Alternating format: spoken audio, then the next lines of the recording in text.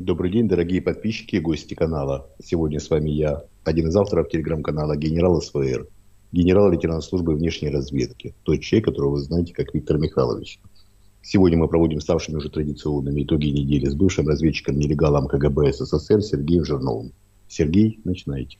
А, добрый день, Виктор Михайлович, добрый день всем нашим зрителям. А, надеемся, что в этот раз у нас все получится, потому что мы с вами э, три недели не смогли по техническим разным причинам выходить в эфир. Вот народ начал уже напрягаться. А, ну, в общем, это просто так получилось. Неделя очень напряженная прошлая, и, наверное, если мы начнем прям по порядочку, то она началась с дня рождения Путина. Mm-hmm. Да, и, э, соответственно, э, встречи, которые он там устроил для своих э, прихлебателей, потому что ему, к нему на день рождения просто так никто бы не приехал. Его, кстати, поздравил очень мало народу в этом году, просто официально всего 8 поздравлений он принял, меньше, чем в прошлом году и значительно меньше, чем в предыдущие годы. Как вы посмотрели на это, на это событие и на это празднование и на то, что последовало? Э, событие э, знаменательное, э, без лишнего пафоса. Президента России Владимира Путина уже нет с нами. Есть человек, похожий на президента России, который принимал поздравления. Стоит отметить, что российское руководство готовилось к совершенно другому уровню поздравлений и передачи подарков и так далее, и так далее. Считалось, что многие лидеры дружественных стран, а также нейтральных, стран, которые принадлежат глобальному югу, так называемому, э, будут поздравлять э, человека, который воплощает в себе образ Владимира Путина, и, значит, это поддержит некий имидж того, что Россия выходит из эм, изоляции и признает весь мир, включая глобальный юг, и прежде всего глобальный юг, заслуги, заслуги Владимира Путина перед всем миром. Но э, не так случилось, как предполагало э, российское руководство. Э, действительно, очень мало поздравлений, были крайне разочарованы э, в так называемом политбюро. Э, действительно, очень мало э, поздравлений. И э, надо, стоит отметить, это тоже важный момент.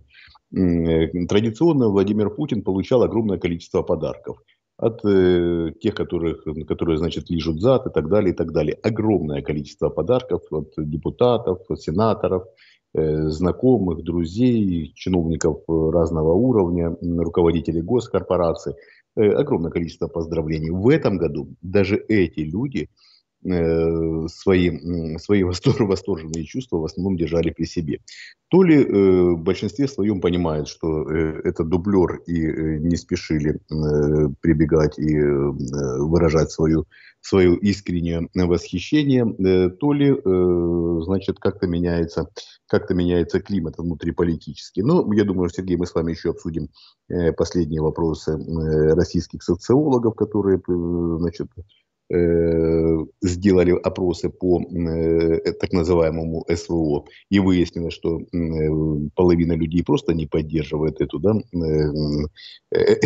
это странное мероприятие, которое, конечно, проще назвать войной, что, собственно говоря, и есть война. И 25% затруднились ответить, то есть фактически тоже отрицательно. И только там что-то в районе 25, по-моему, или чуть больше процентов Э, там 25, по-моему, э, теоретически поддерживают. И опять-таки стоит отметить, что это в условиях э, тотальной диктатуры и в условиях строжайших значит, строжайшего сдерживания побуждения у людей. Так вот, политический климат все-таки меняется. Это начинает быть видно невооруженным глазом. И э, так называемый, так называемый президент Путин тот человек, вернее, который изображает из себя Путина и все российское руководство в лице Политбюро, крайне разочарованы тем, что происходит. И я скажу, что это, конечно, большой шанс, если бы Запад, объединенный Запад, э, тот, который мы понимаем и представляем под э, простым словом Запад, да, э, делал бы определенные шаги то шансов у нынешнего российского руководства удержаться, а уж тем более вести агрессивную войну, практически бы не было. Но, к сожалению, не так. Э, Сергей, а что по-вашему э, было замечательным и знаменательным э, в 7 октября, в день рождения Путина? А, ну, кроме удара украинских войск по Феодосии, где загорелась очень большая база ГСМ, одна из крупнейших в Крыму, от которой зависит, кстати, снабжение южной группировки войск Российской Федерации, и кроме хакерской атаки на российские средства массовой информации, и там несколько госсайтов, которые положили в общем, было мало, мало реакции, потому что все ждали что либо Российская Федерация устроит какой-то э, супер, э, супер удар э, по Украине, э, либо Украина ударит э, что-нибудь там по Крымскому мосту опять или что-то в этом роде. Вот этого ничего не произошло. И откровенно говоря, я тоже с вами согласен. Э, в общем, самым главным показателем э, этого дня рождения э, для меня э, явилось именно то, что на него почти никто не отреагировал. Причем вот вы сказали про западных э, э там всяких партнеров потенциальных Путина. Э, включая Китай, например, да, который Вучича, который считается, в общем, ну, Сербия, там, Китай, Северная Корея, которые считаются главными, главными, так сказать, партнерами партнерами Путина или входит там в лобби в какую-то. А Орбана, Орбан же ведь тоже не поздравил его, да? Вот. Но меня удивило то, что э, внутри э, очень мало было поздравлений. Практически никто из губернаторов российских не поздравил российск, российского, российского лидера, так сказать. Вот. Это меня, конечно, немножко удивило. Вот. Дальше основное, ну, то, что он устроил саммит Э, стран СНГ в Москве э, только для того, чтобы к нему приехали на день рождения. Да, это традиционно происходит э, для того, для того чтобы приехали люди и э, зацепили, так, так сказать, день рождения. Вроде как приехали формально не на день рождения, но э, подчеркивается, да, что вот только, только был день рождения, значит, Э, сбор э, значит, лидеров э, так называемого СНГ, так называемого, потому что в реальности это объединение не более чем название политическое, но никаких функций СНГ не выполняет, никаких, никакого реального осмысления этот термин СНГ под собой не несет. На сегодняшний день это значит, клуб по обсуждению тем, которых в принципе-то не существует принципе не существует. Ну, потому что СНГ предполагало, что это какое-то наследие Советского Союза. На сегодняшний день наследие Советского Союза пытается внедрять э, как во внешней, так и во внутренней политике исключительно нынешнее российское руководство, но делает это настолько нелепо, настолько неумело и настолько э, глупо, что э, остальные партнеры, так называемые по СНГ, пытаются максимально дистанцироваться от этих процессов. Да, понятно, что многие на сегодняшний день, благодаря санкциям, которые наложил Запад на Россию, э, прекрасно себя чувствуют, я имею в виду многие государства, да, включая и государства Средней Азии, извините, Центральной Азии, которые были бывшими республиками Советского Союза, э, занимаясь серым импортом, занимаясь поставками в Россию товаров двойного назначения, помогая проводить платежи международные, очень неплохо зарабатывают, очень замечательно пополняют э, свои бюджеты. И нынешняя ситуация выгодна.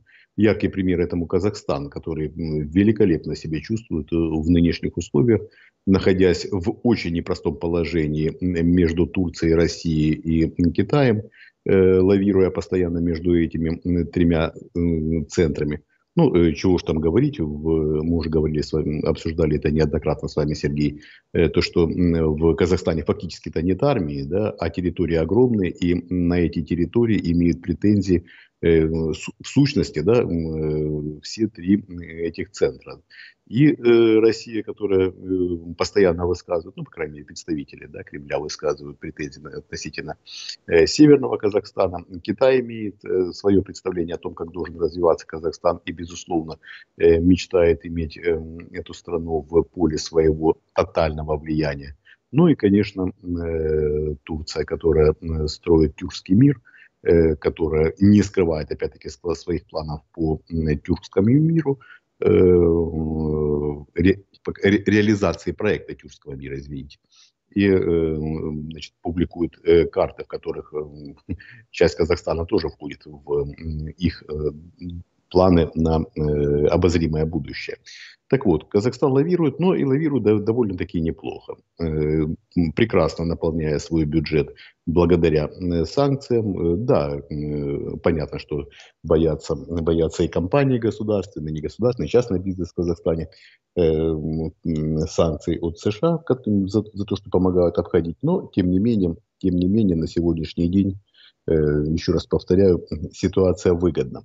Поэтому и приезжают к так называемому Путину, поэтому и завтракают с ним, и даже общаются, и даже позволяют э, российскому руководству сделать вид, что лидеры этих стран прибыли на день рождения. Ну, стоит, наверное, отметить, Сергей, и встречу э, Пашиняна да, с Алиевым и с так называемым Путиным в Москве во время этого во время этой большой встречи и по отдельности с каждым из них. И троллинг Пашиняна э, в виде э, велопробега по э, холодной и дождливой Москве. Да, это, конечно, было э, эпохальное событие. Э, я, кстати, к вашей оценке полностью присоединяюсь, но даже я бы сказал, что вот вы сказали э, особенно Казахстан, я бы сказал так, особенно Армения, потому что Пашинян как раз э, демонстрирует среди всех руководителей бывшего Э, Советского Союза, который еще остается э, вместе с Путиным, э, такого самого главного не чинопочитателя, да, и тем не менее Армения, кстати, тоже очень сильно зарабатывает на сером импорте. У Армении он, так сказать, товарооборот с Российской Федерацией вырос чуть не в три раза по сравнению с нормальным, с нормальным, с нормальным годом. И несмотря на то, что Пашинян, так сказать, как бы является таким чуть не диссидентом, Э, мы видели это по ДКБ, да, Армения фактически вышла из этой организации и публично э, несколько раз демонстрировала, что она не собирается в ней участвовать, э, потому что эта организация не поддержала ее военные усилия против Азербайджана. Вот, а в СНГ участвовала, да. Ну и, конечно, он отметился этим велопробегом, который, для, наверное, для тех, кто не, не в курсе и не, не видел эти кадры, Пашинян во время пребывания в Российской Федерации сделал такой как бы типа европейский ролик, где он едет на велосипеде с GoPro камерой на голове, вот, и, значит, снимает, естественно, как будто бы он вот такой э, крутой, значит, э, экологический, э, э, значит, э, сторонник. Э, вот видите, по Москве он передвигается на велосипеде, там э, едет по, по набережной Москва-реки. Вот, а потом нам опубликовали э, камеры, э, естественно, наружного наблюдения, так сказать, на улицах Москвы, где было понятно, что э, на самом деле он едет в сопровождении огромного кортежа, который освободил для него проезд, то есть там не, никто не мог э, туда попасть, и это совершенно не, не такой вот, не крутой политик типа западного э, какого-нибудь скандинавского, который просто сел на велосипед и поехал в народ, а на самом деле это абсолютно такой э, авторитарный советского типа лидер, э, которому перекрыли, значит, всю набережную, а он изображает, что он, значит, в народ поехал. Да, безусловно, это и так. Ну, основной троллинг был в сторону э, так называемого президента России Владимира Путина, э, когда э, Пашинян показал, смотрите, я молодой, сильный и выносливый, в дождливую погоду совершенно спокойно сажусь на велосипед и, значит, в холодную дождливую погоду и могу проехаться, не боясь при этом простудиться, заболеть и умереть. Потому что силы и здоровье есть. Может ли это тот человек так точно поступить, тот человек, который похож на президента России Владимира Путина? Безусловно, нет. Безусловно, нет. У него хроническая болезнь почек. Э, по холоду, значит, по мокрой погоде кататься он не будет ни в коем случае. Он 500 э, метров на велосипеде не проедет, потому что выдохнется. У него нет таких Э, ни возможности, ни желания. И, конечно, это был троллинг прежде всего в эту сторону. И, конечно, и европейский посыл о том, что европейские политики тоже катаются на велосипедах по улице и действительно ездят без охраны, действительно э, не, э, не ново когда там премьер-министр или президент страны приезжает на велосипеде на работу. Да, это ну, не, не Шольц и не Макрон, потому что обстановка в этих странах несколько иная, и значимость этих людей э, несколько иная, боятся, безусловно, за их безопасность. Ну и, и в, то, в то же время э, Э, Макрон тоже, по-моему, отличается, прям, прям, бывает, вернее, тоже при перекрытых дорогах и при должном уровне охраны э, подобные прогулки совершает, да, э, Сергей? Да, бывает, конечно. Но вы, вы правы, что там не только, не только сила, так сказать, у Пашиняна, но еще и молодость. Он на самом деле самый молодой руководитель из всех этих людей, которые собрались. Ему всего 49 лет. Вот, а, и э, если посмотреть на всех остальных, то э, следующий это руководитель Туркменистана э, и затем Алиев. Да, то, есть это вот люди, у которых, ну вот Алиеву там сколько там, ему 63 года, а туркменскому лидеру нынешнему, хотя он на самом деле не лидер, потому что он считается президентом, у них лидер все-таки остается все равно его папа, да, который типа Елбасы.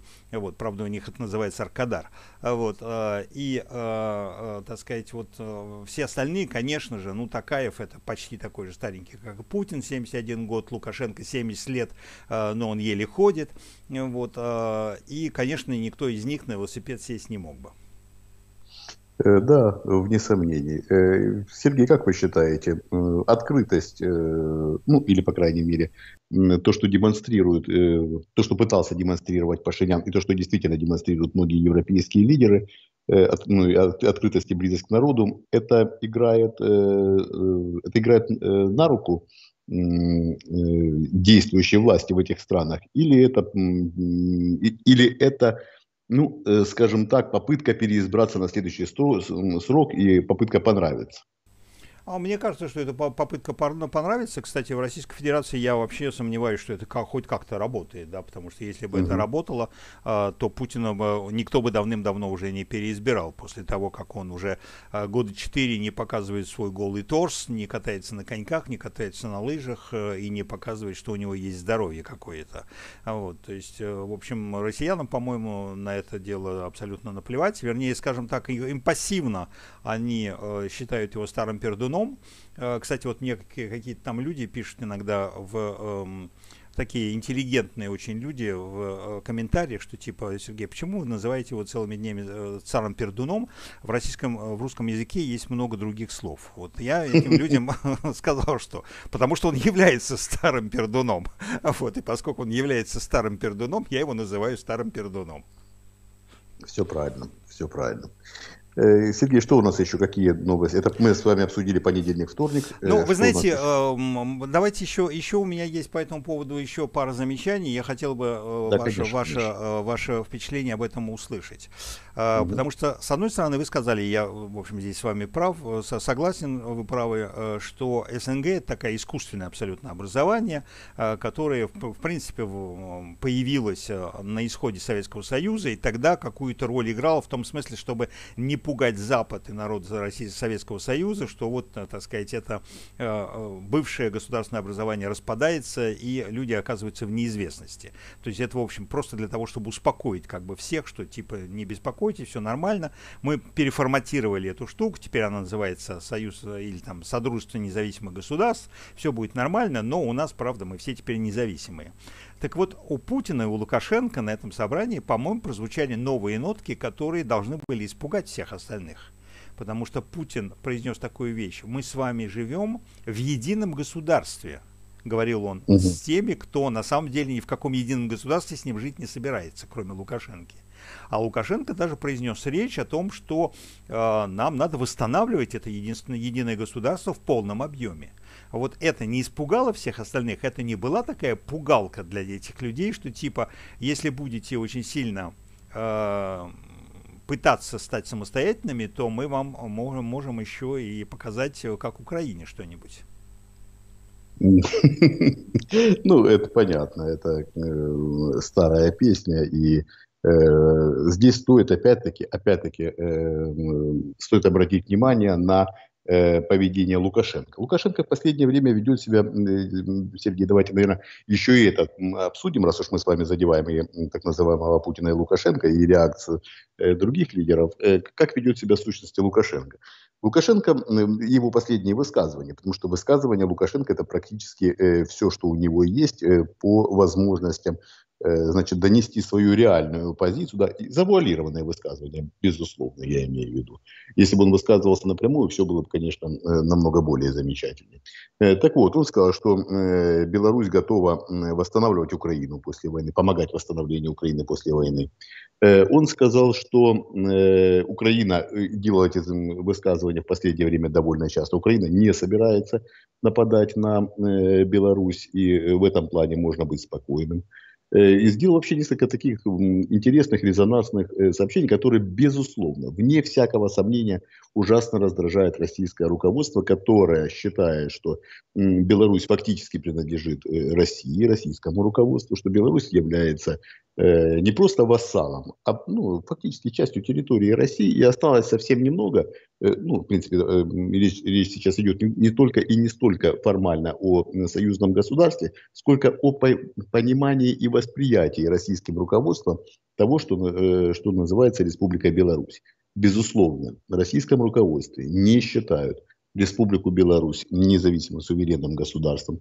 Безусловно, считаются с Лукашенко и э, есть такое мнение, бытует в российском руководстве, хотя оно не воплощено в каких-то реальных планах, что после Лукашенко, значит, э, Беларусь должна полностью влиться в состав России и стать одной из, ну, условно, губерний, да, Э, Российской империи, которая, э, которая значит, э, будет пользоваться этими территориями и ресурсами, вне всяких сомнений, как своими собственными. Ну, они, в принципе, считают, что и сейчас это возможно. Ну, и вот есть некая, некая досадная преграда в виде Лукашенко, которая является на сегодняшний день нужным человеком, но не полностью подчиненным. Э, Сергей, скажите, вот ваше э, мнение по поводу, по поводу высказываний э, Лукашенко и по поводу, и как раз в контексте, в контексте того вопроса, который вы задали. Лукашенко, как вы считаете, делает реальные шаги по, по попытке, скажем так, дистанцироваться от российского руководства? Или же это блеф, игра и попытка, попытка просто выбить себе лучшие условия для дальнейшего существования.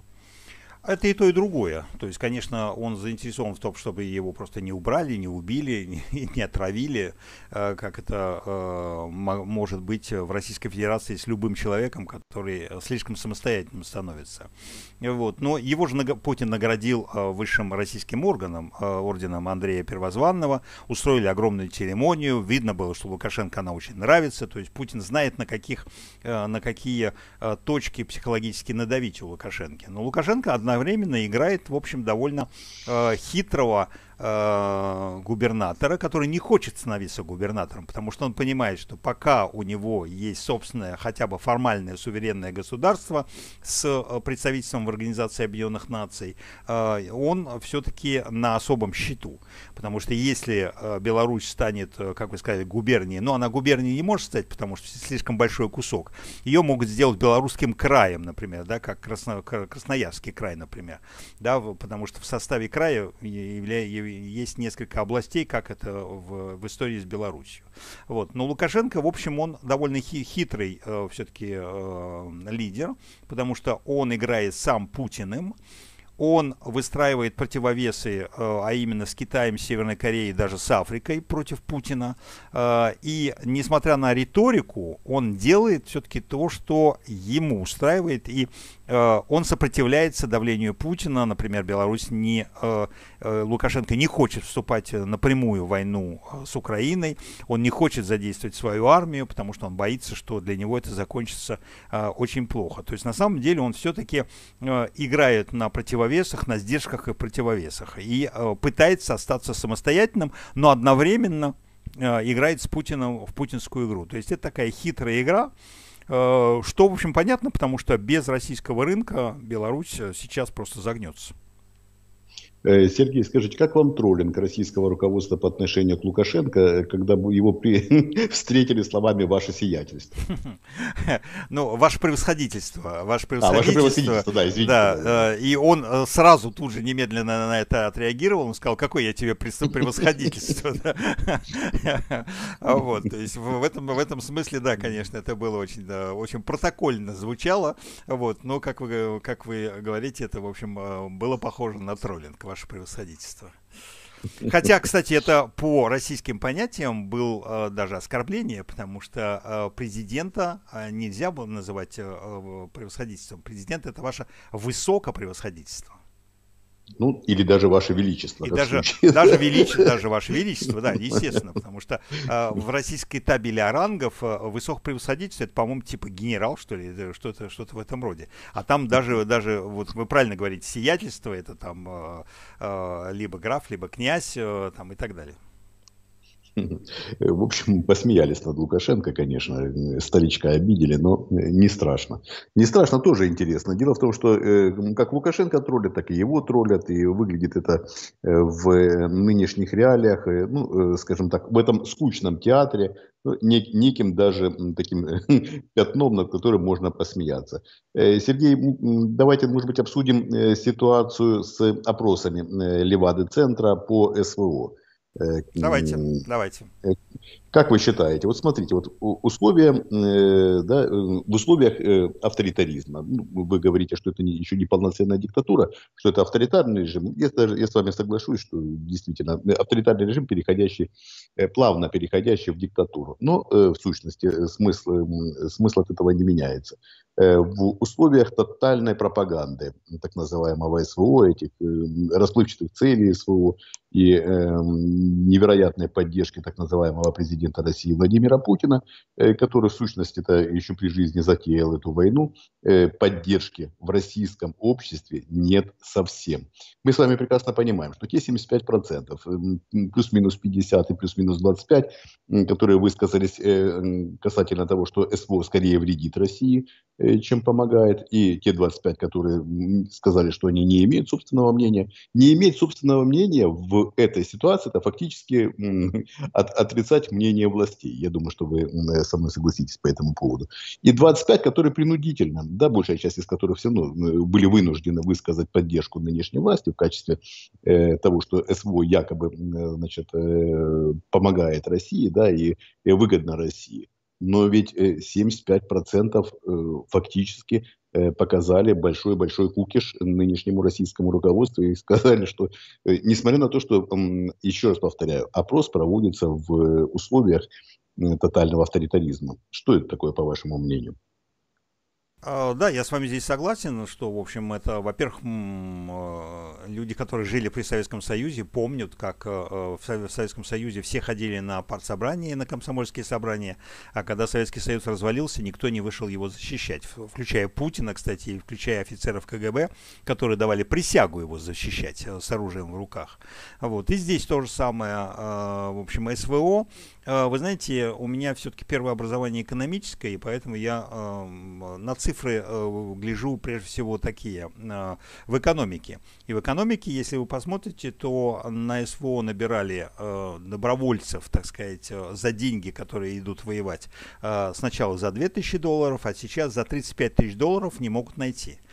Вот, и это э, уже о многом, о многом говорит. Э, и э, мы знаем, например, что громче всего кричат в поддержку СВО, опять же, старые пердуны советские, которые знают, что их-то не пошлют на эту, на эту СВО, их-то не пошлют на фронт. Вот, и они практически призывают Путина уничтожать молодое поколение и среднее поколение Российской Федерации. Кстати, это и происходит. Путин уничтожает собственный народ и уничтожает собственную страну прежде всего, а потом уже Украину Украину. Это, кстати, немножко раздражает нашу украинскую аудиторию, которые говорят, не надо сравнивать Россию, э, э, так сказать, и выставлять ее жертвой, хотя на самом деле э, жертвой Российская Федерация является путинской и, и является э, первой жертвой, а потом уже Украина, потому что прежде всего, как глава российского государства, он должен заботиться о развитии собственного государства, а он его уничтожает. Абсолютно с вами согласен, Сергей. Абсолютно согласен. Э, в этом свете э, видно, видно невооруженным глазом в этот раз. Мы уже мы публиковали неоднократно опросы ФСО, так вот, даже опросы Левада-центра показывают, что нет никаких там 70-80% поддержки у так называемого Путина. Их просто нет, их просто не существует. Все, кто поддерживает Путина, поддерживают так называемое СВО. Все без исключения. Эти мнимые 25%, которые в условиях тотальной, еще раз повторяю, тотальной, э, тотального авторитаризма, тотальной пропаганды и э, фактически, фактически отсутствие, полного отсутствия свободы слова говорят о том, что э, они поддерживают это, это и есть условные эти 25%.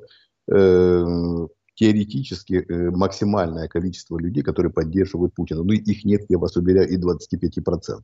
Реальная поддержка где-то в районе 12-13%. Э, это люди, которые э, фактически при любой власти поддерживают власть. Есть в любой стране определенный процент людей, он варьируется от одного народа к другому, от, одной, от одного населения страны к, к другому восприятию своего руководства. Так вот, есть процент людей определенный, которые всегда голосуют за действующую власть.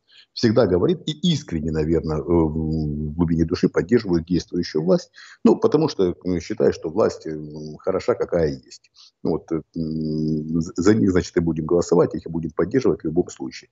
В, в случае с так называемым СВО, а вернее войной, конечно, мнение российского народа, это категорическое нет. Категорически. И, как ни крути, на это вынуждено озираться нынешнее российское руководство. И, конечно, конечно, то, что на сегодняшний день опрос Левада-центра стал открыт да, для широкого, широкого круга лиц, это важный шаг. Как по-вашему, Сергей?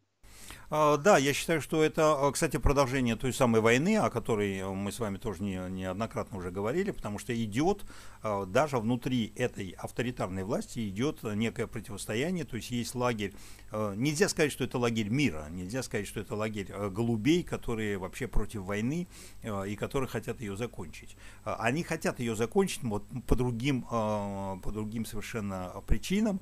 Это Конечно. просто лагерь, ну, так сказать, более рациональный рациональных э, ястребов, э, которые не хотят такой дурацкой войны, такой идиотской войны, которая на самом деле убивает э, Россию, в том числе и для них, э, потому что они не могут, они находятся под санкциями, они не могут ездить, они не могут посылать своих внуков и сыновей и дочерей э, за границу, они не могут пользоваться своей зарубежной недвижимостью, они не могут пользоваться своими яхтами, э, их э, жены не могут делать шопинг в мировых центрах и так далее и тому подобное. И вот э, эти э, Э, так сказать, э, эти силы, они на самом деле довольно, э, довольно успешные. Кстати, мне кажется, что именно эти силы обеспечивают, кстати, неприкосновенность Валерия Дмитриевича Соловья, который прямо вот из Москвы вещает те же самые мысли. Э, ну, в том числе, в том числе. Э, Сергей, я с вами согласен, что э, касательно тех причин, которыми руководствуются эти люди, и хочу еще добавить, что они прекрасно понимают, что Россия – это ненадежный островок нахождения да, в целости и безопасности сохранения хоть каких-то ресурсов. Ненадежна нынешняя ситуация в экономике, вы правильно абсолютно говорите, и в финансовой сфере, и, в, и вообще во многих, во многих сферах близка к критической. То, что нынешнее э, руководство э, финансово-экономического блока не просто прогнозирует, не просто предрекает, а гарантирует вхождение в э, кризис, которого еще не было со времен распада Советского Союза, экономический и финансовый, о том, что вынуждено будет нынешнее руководство финансово-экономического блока блокировать вклады граждан, это фактически, еще раз повторяю, фактически решенный вопрос. Это вхождение в кризис, это неотвратимое неотвратимая перспектива. И прекрасно понимают те люди, которые сейчас выступают, э, вы правильно абсолютно говорите, из рациональных позиций. Это не говорит о том, что эти люди действительно миротворцы и всегда были за мир. Нет. Они действительно, выступая из э, руководства с рациональными позициями, понимают, что э, в случае э, действительно э, ката- э, экономического кризиса, который может привести к катастрофе, буквально катастрофе в экономике, буквально катастрофе финансовой системы, можно себе представить социальное напряжение внутри страны, когда будут заблокированы вклады граждан. Да? Мы прекрасно понимаем, что это, не, это приведет к определенной точке кипения. Эта точка кипения может, э, может ли эта точка э, быть э, крайней точкой, да, и привести к тому, что будут практики, практики митингов, практики сопротивления уличного, ну, теоретически может. Но я думаю, что это, это опять-таки не конец. Это опять-таки не, не, не будет краем. Будут еще ряд событий, которые приведут к тому... Мобилизация, что... например, если, не дай бог, Путин на нее решится. В том числе, в том числе, вы абсолютно правильно, Сергей, говорите, абсолютно правильно, в том числе мобилизация, в том числе и э, опять-таки, действия западных партнеров Украины могли бы привести к возникновению таких точек намного быстрее, чем, это, чем к этому придет российское руководство самостоятельно. Но тем не менее, все это будет, все это будет, не всяких сомнений. И, конечно, а вот давайте, давайте поговорим да. по поводу западных, давайте. западных партнеров, потому что на этой неделе давайте. состоялись э, очень важные вещи, а именно мы все ждали э, Рамштайна, который должен был проходить 12 числа э, в Германии э, на высшем уровне. А, туда должен был приехать Байден, туда должны были собраться все руководители государств и правительств стран, которые поддерживают материальную Украину э, в войне ее против Российской Федерации. И вдруг Байден объявляет о том, что он не едет, и Рамштайн отменяется, а, как, э, а Зеленский уже поехал э, в Европу, э, то есть он устроил, кстати, саммит Украина, страны Восточной Европы, где в том числе и Сербия подписала совместный документ, осуждающий агрессию Российской Федерации. То есть там довольно значимое событие было, которое, к сожалению, очень мало освещалось. Вот. Потом ему ничего не оставалось, поскольку он уже оказался в Европе, сделать просто такой вояж по главным э, западным партнерам, а именно он съездил в Великобританию, где встретился с новым премьер-министром, а также с новым генеральным секретарем э, НАТО. Потом он был во Франции, встречался с Макроном, потом он был в Италии, встречался с э, Мелони и с Папой Римским, и закончил все это дело в Германии, где встречался с Шольцем. И вдруг нам объявляют, что эм, э, Байден все-таки едет в Германию только 17 числа. Да, и опять-таки он едет в Германию, но Рамштайна не будет. Да, но Рамштайна не будет, да. То есть это будет просто тот самый государственный визит, который э, намечался. Э, кстати, есть сомнение, что он будет в формате государственного, э, но, так сказать, Байден как бы э, хочет все-таки отметиться своей, своим официальным, государ... официальным визитом в Германию. Ну, давайте опять-таки отметим, что Байден на сегодняшний день является уже... Э, Хромой уткой.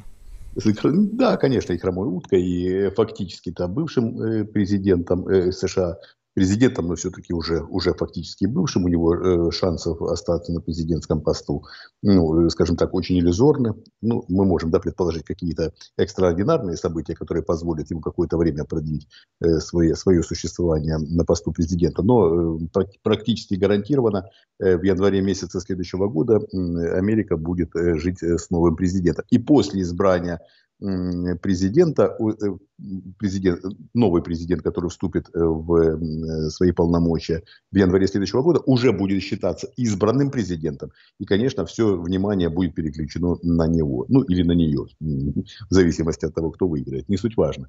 Но Байден на сегодняшний день уже, безусловно, ну, скажем так, глобальные вопросы, видимо, не хочет углубляться в их решение.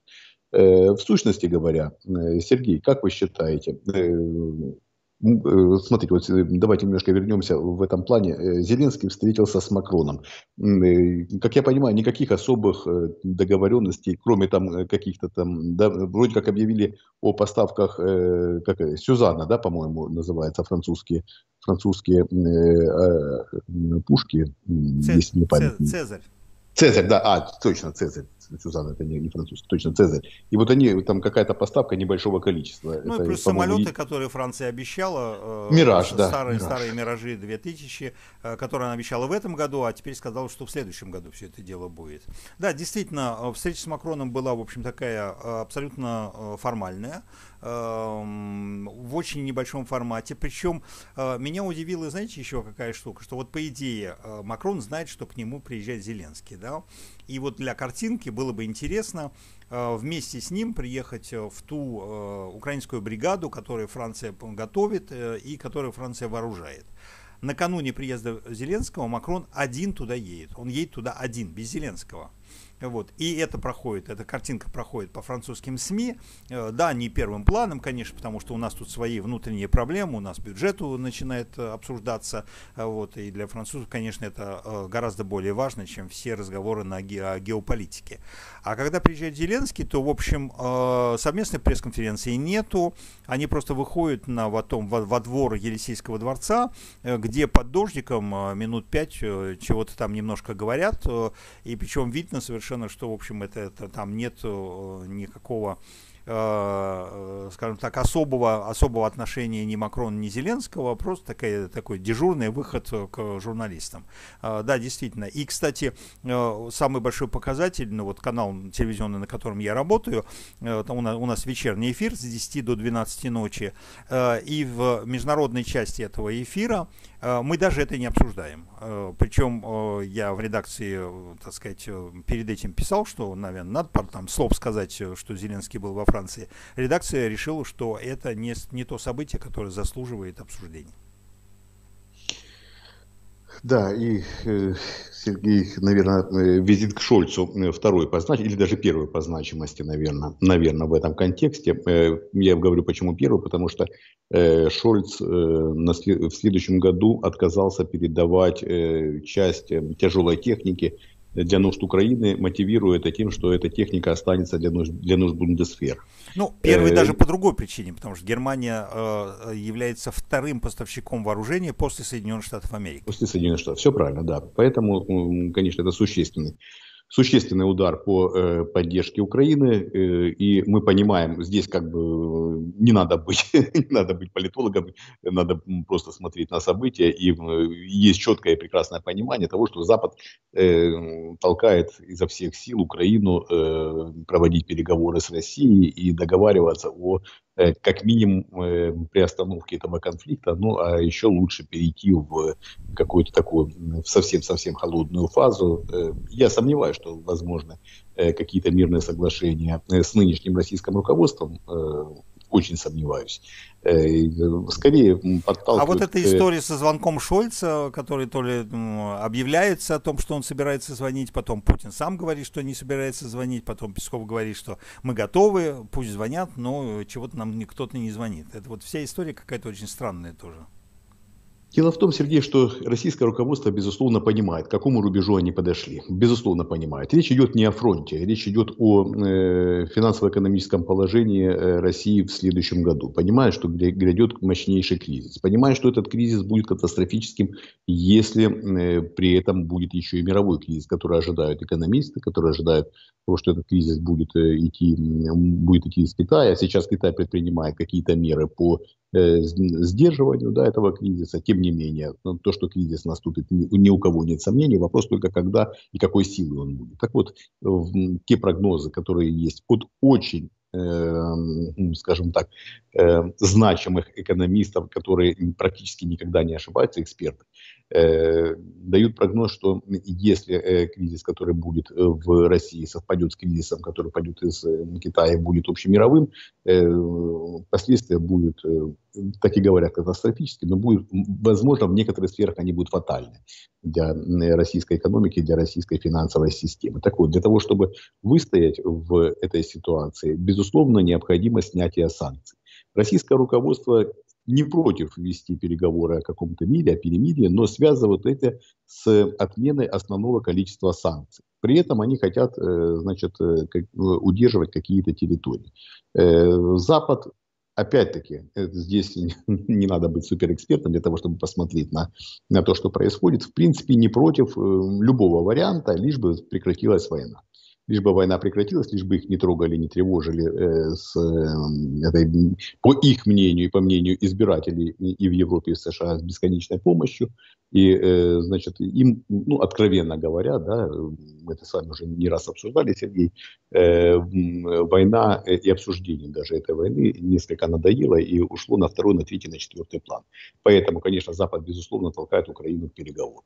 Э, Россия не против этих переговоров, но Запад не готов отменять санкции без согласия Украины на какие-то определенные, опять-таки, условия, при которых ну, в последнее время очень много вбросов в прессу и с э, так называемым, да, э, с так называемыми гарантиями э, Украине э, по, э, и с вливанием в Украину там, сотен миллиардов долларов для того, чтобы э, Украину вооружить и сделать форпостом да, э, в противостоянии э, с Россией, вернее, рубежом, рубежом да, э, такой своеобразной границей, которая будет которая будет гарантировать и Украине, и э, Евросоюзу в какой-то степени, по крайней мере, в, э, в пределах границы, ну или линии соприкосновения с Россией, будет гарантировать значит, отсутствие, отсутствие побуждений у России продолжать эту войну.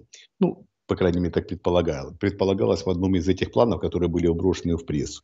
И так далее, и так далее. Их, их, их довольно много, и э, я так понимаю, представляю, что Запад на сегодняшний день тоже готов, в принципе, наверное, согласиться с любым планом, который будет теоретически э, воспринят Украиной э, в в, ну, в ключе каких-то соглашений с Россией.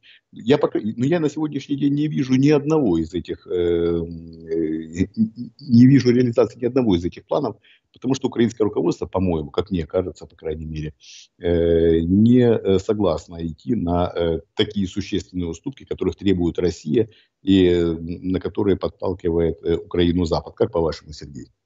Да, я с вами согласен, потому что видно совершенно, э, что, в общем, их разговоры эти раздражают. А, видно раздраженная реакция и самого Зеленского, и его советников вокруг него, и которые пытаются э, компенсировать это. Кстати, э, это вот даже было во время той небольшой, того небольшого выхода президента Зеленского с Макроном в, во дворе Елисейского дворца, Э, где э, просто Зеленский сказал, что вот распространяются такие слухи, это неправда там и так далее.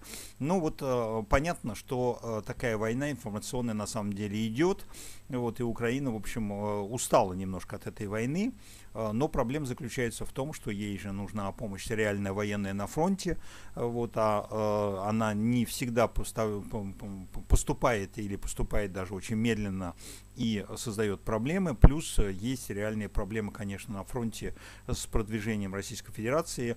Причем Покровск, э, это, в общем, становится довольно серьезная серьезная проблема для Украины, потому что Украина на Восточном фронте сейчас может потерять последние значимые угольные шахты, которые позволяют работать металлургической промышленности Украины, а это треть практически экономики Украины. Да, ситуация действительно тяжелая, и самое главное, э, что и российское руководство, и украинское руководство, как видно, по крайней мере, э, на сегодняшний день, считает, что время играет на их, э, да, на них, что надо немножко, значит, немножко времени, немножко поддержки, как считает украинское руководство, и, значит, можно выйти на более сильные позиции. То же самое считает российское руководство, которое считает, что и надо еще немножко и продавить в фронт в каких-то в каких-то местах, в том числе, прежде всего, конечно, в Донецкой области Украины, и э, попытаться занять какие-то новые позиции для того, чтобы иметь более сильные, более сильные переговорные позиции. И та, и другая сторона считает, что более сильные переговорные позиции возможно получить с течением времени. Э, ну и, конечно, мы, вы правы, Сергей, мы видим раздраженную, раздраженную реакцию украинского руководства и Запада, и видим, что э, визит э, Зеленского в США с планом мира Э, ну, и, если Байден отменяет свое участие, вообще отменяет, фактически это Байден отменил Рамштайн э, после этого визита, ну, это говорит о том, что категорически, категорически не согласны э, лидеры Запада да, и дальше поддерживать Украину, по крайней мере, в тех объемах, которые есть, что их не устраивает тот план мира, который, который привез Зеленский. Но я думаю, что в ближайшее время, в ближайшее время мы увидим развитие несколько иных событий в плане э, контакта украинского руководства с Западом. Э, есть для этого некоторые предпосылки. Э, есть впечатление, что после выборов в США реакция, причем кого бы ни выбрали, Трампа или Харрис, ситуация с поддержкой Украины несколько изменится в лучшую для Украины сторону. Э, здесь, э, опять-таки, стоит обратить внимание и на нетерпеливой позиции э, российского руководства по поводу ситуации на фронте. И действительно попытка, попытка занять Покровск, попытка занять несколько значимых, значимых позиций в Донецкой области для того, чтобы иметь, ну, опять-таки, не будем, не будем лукавить, знаем некоторые, некоторые скажем так, аспекты э, переговоров, которые ведутся через посредников на э, международной арене, э, предлагают обмен, предлагали, вернее, в недавнем прошлом обмен российское руководство территории Запорожской и Херсонской области на территории Донецкой области, то есть фактически обменять, оставить сухопутные коридоры, но обменять оставшиеся части Херсонской и Запорожской области на Донецкую и Луганскую область. На сегодняшний день э, российское руководство не может решить эту проблему самостоятельно, я имею в виду в военном плане, а украинское руководство, безусловно, э, отказывается э, обменивать украинские территории на украинские территории, для чего, собственно говоря, и была предпринята Курская операция, для того, чтобы обменять российские территории на вот, э, э, украинские. Но теперь после Курской операции э, российское руководство стало в позу и э, категорически даже на международных площадках через посредников не хотят обсуждать э, какие-то возможности э, до освобождения Курской области. Окей. Ну, у нас еще будет возможность, естественно, в наших эфирах э, не раз вернуться к этому, к этому вопросу. У нас остается немного, немного времени до окончания нашего эфира часового обычно. Э, давайте поговорим, наверное, о э, самой главной топовой теме на прошлой неделе. Это история с Рамзаном Кадыровым и история чуть не с революцией внутри Российской Федерации. Как вам все это дело? Э, да, безусловно, э, умелая э, рука Кремля, умелая как в прямом, так и в переносном смысле, разжигает новую, новый конфликт на Северном Кавказе. Заявление Рамзана Кадырова о том, что он объявляет кровную месть представителям Ингушетии, представителям Дагестана, ну, в сущности говоря, противостояние элит Чечни с элитами Ингушетии и, и Дагестана это, конечно, это, конечно, новая точка кипения в российском руководстве. На сегодняшний день, на сегодняшний день с одной стороны, как выгодная, так и невыгодная нынешнему российскому руководству. Я объясню, почему, почему так.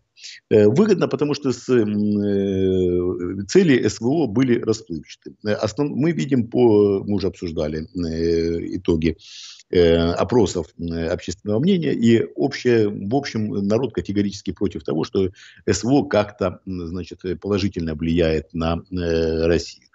Э, понятно, что российское, российское общество не поддерживает СВО, не поддерживают эту войну, считают ее деструктивной, считают санкции э, губительными для России. Ну и в сущности общий климат э, имеется в виду и политический, и социально-экономический эм, ухудшился в России. Для этого, конечно, надо, надо СВО заканчивать и выходить. Это понимает и российское руководство. И, в принципе, это, как я уже говорил, готово покончить с СВО только на каких-то там выгодных по их мнению условиях. Но тем не менее мы с вами прекрасно понимаем, что как только СВО заканчивается, а оно по э, объективным параметрам достаточно близко к своему завершению, по крайней мере, к горячей фазе завершению, для нынешнего режима в России, безусловно, необходима новая точка кипения для того, чтобы перенести внимание населения и э, для того, чтобы снять э, какие-то угрозы социального кризиса и внутриполитического,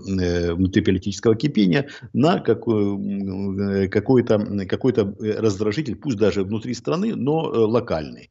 Так вот, локальным раздражителем может служить конфликт между элитами, который может перевести в горячий конфликт, вне всяких сомнений, э, в локальный конфликт на Северном Кавказе.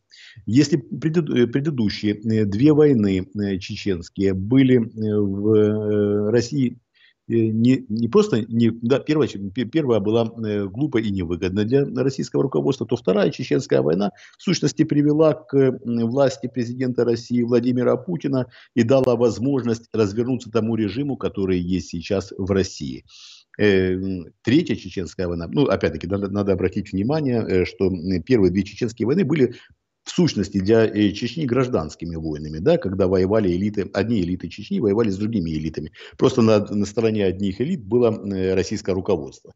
И вот объединившись с, одними элитами, значит, они просто э, уничтожили другую часть элит. Сейчас Эм, внутренней оппозиции в Чечне для Кадырова практически нет. Она реально задушена.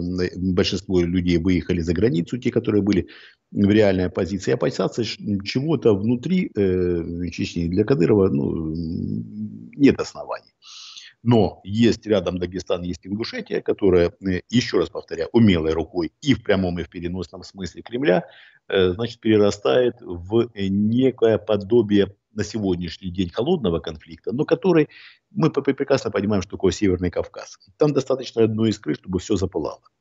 Чтобы все запылало. Э, и для российского руководства в плане э, возможности перенести э, внимание населения и э, перенос кризиса из Украины скажем, на Северный Кавказ, Э, с одной стороны, конечно, чреват э, возможной потерей части территории Северного Кавказа, ну, как тут Чечня, например. Э, но и эта проблема, э, по сути, для Кремля не является проблемой. Они решат сразу, то есть фактически одним выстрелом убивая да, двух зайцев. И решают проблему Чечни, отделяя ее таким способом. Ну и объяснив населению, смотрите, зачем нам такой регион, который значит, воюют с нашими другими регионами. Встав в этом случае, да, как и э, в войнах Первой и Второй Чеченской, только в этом случае став не на сторону элит э, Чечни, а на сторону элит э, э, Дагестана и Ингушетии. И да, э, в, с военной поддержкой условно, еще раз повторяю, мы просто прогнозируем, что может быть, с, условно, с поддержкой элит Дагестана и э, Э, и э, Ингушетии помочь просто решить так, называемый, так называемую проблему с Рамзаном Кадыровым, отделив Чечню, задавив военное сопротивление, военные попытки решить решение, усилив границы, с Чечней просто отделив эту территорию Э, сначала формально, а потом уже и законодательно от э, России. Э, при этом аргументация у российского руководства будет проста и понятна. Смотрите, мы присоединили четыре региона из Украины, они по территориям гораздо больше, чем Э, Чечня. Никаких потерь особых э, Россия не э, получила. Она получила прирост территорий за счет Украины. Но вот строптивый регион Чечня, который значит, всегда воевал и всегда был против России, значит, против своего нахождения в России. Ну вот, пожалуйста, значит, получите свободу и распишитесь. Да, интересный, э, интересный вариант. Э, ну, там еще задействована э, администрация президента, российские силовики, стрельба уже в Москве идет, а не только на Северном Кавказе. Вот, так что ситуация настолько взрывчата, что она может взорваться и внутри Российской Безусловно. Федерации, и в центре. Безусловно. Безусловно, конечно, в этом, в этом и сущности состоят риски. Конечно, это более того, это может быть одним из мощнейших, э, мощнейших поводов для дестабилизации э, ситуации вообще в России и для краха режима. Но это не говорит о том, что в этом случае э, к власти придут силы, которые э, значит, э, помогут, помогут России выбраться из этого хаоса. Нет, могут прийти и э, абсолютно деструктивные силы в этом случае. Еще раз повторяю, если, если кризис коснется ситуации в Москве, в Петербурге, в крупных российских городах, если вдруг если вдруг, еще раз повторяю, у меня сомнения по этому поводу, все-таки э, российские силовики в, э, держат под контролем на сегодняшний день некоторые моменты, то, что происходит, это скорее манипуляции, манипуляции, вы правильно говорите, и администрации президента, и силовиков, и э, попытки вывести из равновесия самого Кадырова, попытки подорвать его позиции в российских регионах. Э, которые ну, до известной степени широки, и э, мы прекрасно понимаем и знаем, какое влияние имеет э, Кадыров на нынешние российские власти. Тем не менее, сократить это влияние, эм, ну, как раз основная цель нынешнего российского руководства. Может ли это привести к хаосу? Конечно, может. Может ли это привести к развалу режима, при том, что режим, несмотря на все вне, внешнее спокойствие и на, несмотря на то, что якобы уверенность в том, что они продержатся еще многие-многие годы, конечно, нестабилен. Конечно, нестабилен. Конечно, может э, этот режим рухнуть и в этой ситуации. Конечно, может быть хаос, конечно, это может привести к катастрофическим последствиям так, такая игра. Но, тем не менее, мы видим, что Кремль в нее играет, играет охотно, и ну, мы с вами увидим результаты этой игры довольно скоро. Окей, а, у нас получился интересный разговор. А, естественно, в час а, уложить абсолютно все темы, которые хотелось бы обсудить, э, довольно сложно. Ну, надеюсь, что наши технические проблемы закончились, и мы теперь будем регулярно, как обычно, по воскресеньям появляться на наших обоих каналах, и потом ретранслироваться наши передачи будут на наших партнерских каналах. Спасибо вам за разговор. Традиционно в конце передачи мы предлагаем нашим нашим зрителям и слушателям э, подписаться на наши ресурсы, поставить лайки, поделиться э, этими ссылками в своих э, социальных сетях и ждем вас в очередной раз.